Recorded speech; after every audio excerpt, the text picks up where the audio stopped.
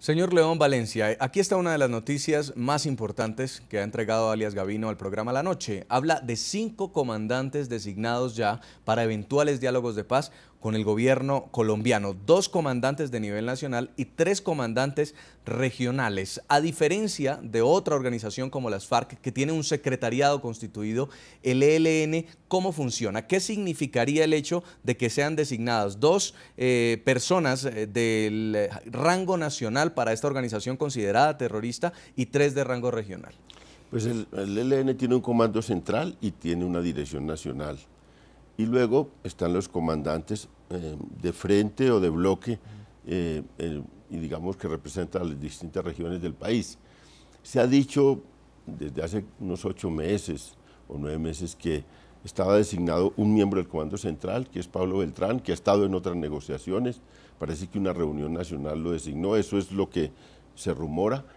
Eh, que está designado también Cuellar, que está en la cárcel, que estuvo en las negociaciones de La Habana en el 2007-2006 y seguramente pues los centros, los lugares de más importancia del ELN pues es Arauca, donde está el Frente Domingo Laín, en el Cauca, donde han tenido una fuerza en los últimos años Cauca Nariño, y en el Bajo Cauca y, Magdalena Medio, son como tres lugares eh, claves del ELN y seguramente esos, de esos tres lugares donde va una representación a la mesa de negociación para darle una representación al conjunto de esta fuerza que es muy federada, que tiene expresiones diversas, por ejemplo, siempre el Domingo Laín ha tenido una actitud reacia a las negociaciones y por eso su presencia seguramente es muy importante en la mesa de negociación. ¿Cuál es el perfil de estos negociadores? ¿Más hacia lo operativo militar, más hacia lo ideológico político?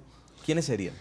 Pues Pablo Beltrán es un santanderiano eh, que lleva muchos años en, el ELN eh, y siempre tuvo, por ejemplo, un un, conocimiento muy grande de lo que es las industrias extractivas, el petróleo, siempre era el que llevaba la vocería en esos temas, que son temas de la agenda del ELN. Su presencia en la mesa indicaría también que ese tema del petróleo, de la minería del oro, de todas las industrias extractivas, eh, de los recursos naturales va a ser un tema que ellos van a poner, porque eso es el equivalente de lo que fue para las FARC el tema agrario en el caso del ELN, ese tema es un tema fundamental y seguramente lo van a llevar a la mesa.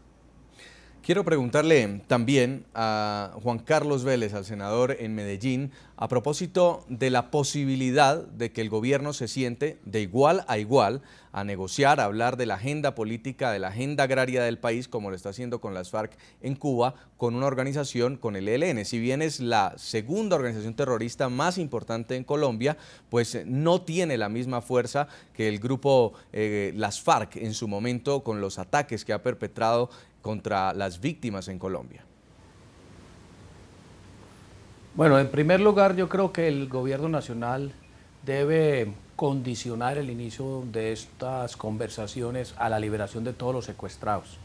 En Antioquia tenemos el caso de Oscar Andrés Montes, un ingeniero forestal de una familia de clase media secuestrado ya hace año y medio. Eso es una infamia y el sufrimiento de su familia es enorme.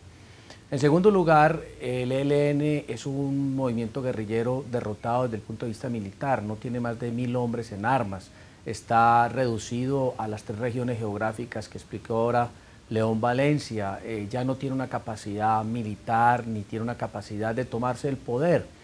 Por lo tanto, entonces, en tercer lugar, creo que el gobierno nacional debe eh, establecer unas condiciones claras, más bien orientadas hacia una desmovilización del ELN, estableciendo unas condiciones claras y digamos unos procesos muy similares al que en su momento adelantó la corriente renovación socialista, de la cual hacía parte León Valencia, y, la, y, otros procesos en Colombia que vivimos como con el M19, el EPL, el Quintín Lame, etcétera. Es decir, necesitamos es un proceso de desmovilización y no una negociación en los términos que en este momento el gobierno pretende hacerlo con las FARC. ¿Qué tal que con nosotros negociando el país con un movimiento guerrillero prácticamente derrotado desde el punto de vista militar y, negociarlo en las condiciones que hoy, de una manera lamentable, también lo viene haciendo el gobierno con las FARC en La Habana.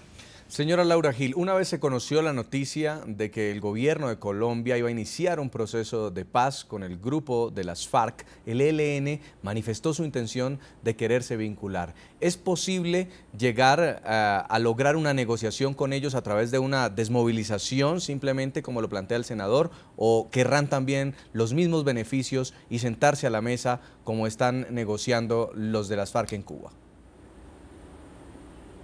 Pues mire, eh, yo no, lo, no calificaría eso de beneficios. El gobierno planteó una negociación, no una rendición, y por eso ambas partes están en La Habana hablando de temas que nos importan a todos. Eh, eh, hay todo un sector político que pretende que haya aquí un proceso de rendición de las fuerzas insurgentes. Eso no se ha podido hacer. Se intentó durante ocho años y no se logró. Entonces estamos en el escenario de la negociación y tenemos que ser conscientes de lo que ello implica. Lo importante aquí, creo yo, es mostrarle al país que muchas de las cosas que se están logrando en La, Habana son cosas que de todas formas el país debería emprender. Es decir, creo que una de las grandes, uno de los grandes logros del proceso de negociación, tal como lo planteó el presidente Santos, es mostrar que se ganó en la mesa algo que cualquier gobierno, por pura responsabilidad, debería arrancar a hacer, como por ejemplo lo que se ha planteado en el documento, lo que se ha conocido del primer punto de, del primer punto de acuerdo sobre el documento agrario. Francamente, lo que se ha planteado en avances agrarios es algo que con mesa o sin mesa el país debería estar haciendo. Entonces yo no veo grandes riesgos, como dice el senador, que estemos entregando el país en La Habana. Lo que yo creo es que estamos ganando todos. Sin duda, otro de los puntos eh, que causa en este momento expectativa es qué países van a intervenir como garantes en un eventual proceso con el ELN si es que se están adelantando ya los primeros pasos en secreto. Señor León Valencia, se ha hablado incluso de la posibilidad de Uruguay. ¿Por qué considera usted que eh, este país podría intervenir o qué otros puede, puede pensar usted que puedan hacer en algún momento parte de este proceso? Pues se privilegia a la región suramericana porque hay un ambiente muy favorable a las conversaciones de paz eh, en Colombia y generalmente estos gobiernos, con el caso del presidente Santos, le generan confianza a, Santos y le generan confianza a la guerrilla. Se ha mencionado mucho Uruguay. También otra posibilidad es Bolivia por, eh, por lo emblemático que es Evo Morales para, para las guerrillas y, lo confiable que es también para para, el gobierno colombiano. Son países que no tienen frontera, porque la gran dificultad es poner países con frontera con Colombia, porque eso es una cosa muy perturbadora eh, por, la, por, la, por el paso de un lado a otro que pueden hacer los guerrilleros. Eh, entonces yo creo que es el privilegio. Traen también siempre un europeo o, una instancia internacional más allá de Sudamérica y de América Latina, porque bueno, eh, eso le da, digamos, más em, digamos, eh, eh, respeto al proceso, lo difunde más en otras partes del mundo. Entonces creo que van a componer esta situación. ¿Qué es lo que pasa con, las, con, la negociación del ELN? Ellos tienen una oportunidad enorme porque el gobierno no les puede ofrecer menos de lo que le, le ofrece a las FARC. Eh, claro que tampoco les puede, le puede dar más, porque es una guerrilla, como se dijo, más pequeño, con mayor dificultad, pero ya se benefician directamente de la agenda de La Habana. El tema agrario es, un tema que los involucra a ellos porque ellos están en las mismas regiones de las FARC. El tema político es un tema que tiene que involucrarlos porque se habla de fuerzas nuevas que surjan del proceso de paz y no únicamente de las FARC, lo que han acordado. De manera que ellos tienen unas ventajas enormes. El ELN eh, es paradójico, es la guerrilla más pequeña, pero tiene incluso en ese momento más ventajas al entrar en una negociación que las propias ¿Pero usted sí cree que el mismo modelo de país que tenga en mente el ELN es el mismo que propone las FARC? Es que yo creo que las guerrillas eh, están por lo mismo. Hay puntos diferenciales. Quizás ¿Qué diferencia el ELN en agenda de las FARC? El tema que ha sido un énfasis muy grande porque siempre ha tenido una actitud muy dura frente a las industrias extractivas, frente al petróleo, siempre han estado en una labor eh, de hostigamiento a toda, la, a toda la extracción de recursos naturales. Ahí tiene una diferencia. Y otra diferencia es que el ELN pone mucho énfasis en la participación ciudadana en las negociaciones de paz y tiene una figura que se llama la Convención Nacional, a donde aspiran a ir eh, como parte de ese proceso de negociación. Esos son las dos diferenciales del ELN frente a las FARC. De resto, digamos, participan de toda esa agenda común que tienen las FARC. Senador Juan Carlos Vélez, ¿qué pasaría si se abre otro proceso de paz con el ELN y en este caso ya con unos puntos acordados, por ejemplo en el tema agrario con las FARC, se presentan nuevas peticiones o un modelo distinto sencillamente por, el, por parte de, este, de esta organización terrorista? Mire, yo sigo insistiendo que el ELN es un movimiento militarmente derrotado. Eh, está restringido a tres regiones del país, Arauca, la región de la Serranía de San Lucas, en el departamento de Bolívar, parte del nordeste antioqueño y otro grupo que tiene en el sur del país, en el departamento de Nariño. Eh, yo creo que las condiciones que debe establecer el gobierno en este proceso de negociación deben ser muy claras. Eh, darle todas las posibilidades para que ellos puedan desmovilizarse, eh, a ayudarles a que ellos se puedan reincorporar a la vida civil. En eso estamos todos de acuerdo, todos los colombianos queremos la paz.